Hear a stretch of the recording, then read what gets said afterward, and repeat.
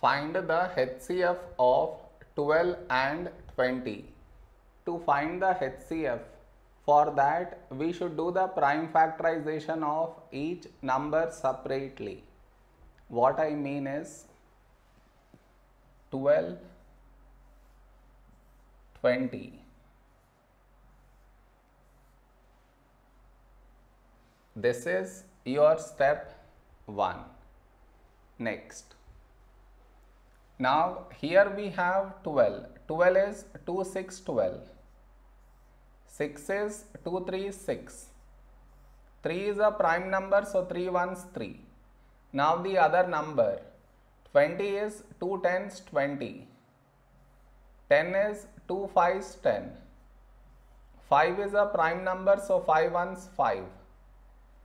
Therefore our HCF is HCF is the product of the numbers which should be present in these two places.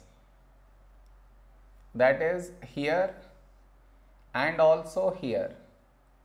Here and also here.